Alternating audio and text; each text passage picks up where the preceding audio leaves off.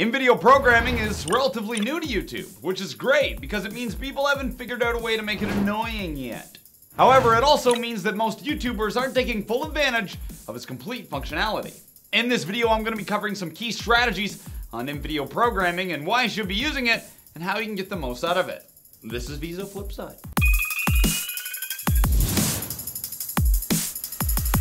There are a few different ways to use in-video programming for your videos, but first, we should probably know what they are. Channel branding is becoming more and more important for growing your audience. With in-video programming, you can feature your logo across all of your videos, which creates consistency and instantaneous recognition. Viewers who are unsubscribed from your channel but happen to be watching your video can subscribe simply by clicking on the small transparent box. This way they subscribe instantaneously without leaving the video or the channel. Another valuable function is to feature one of your videos across all of the content on your channel. That means no matter what video a viewer is choosing to watch, you'll be able to point them towards your newest or best video. This comes in handy if you have a surging video worth promoting, or just a new video that you want everyone to see.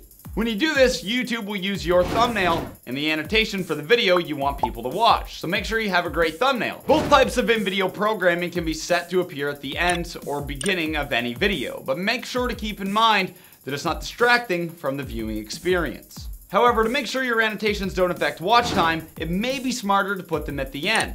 This way, they've watched the entire video and then have something new to click on if they want. Essentially, you just have to remember these four key points about in-video programming. They drive viewership to a video of your choosing, promote a new upload, establish channel branding, and provide easy subscriptions. If you found these in-video programming strategies beneficial, then make sure to subscribe to this channel to get new Viso Flipside videos each and every Tuesday.